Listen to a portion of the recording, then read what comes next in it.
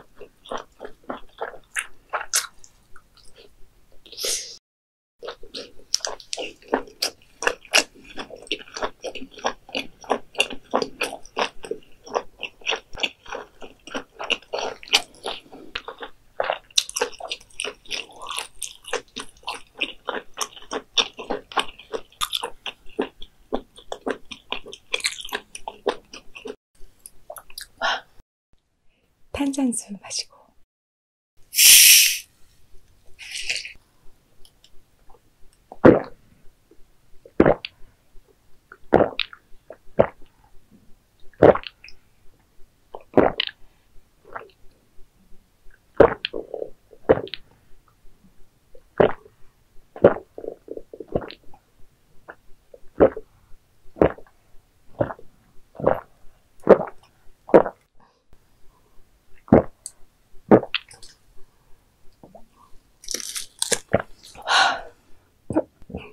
오늘도 잘 먹었습니다. 안녕. 굿.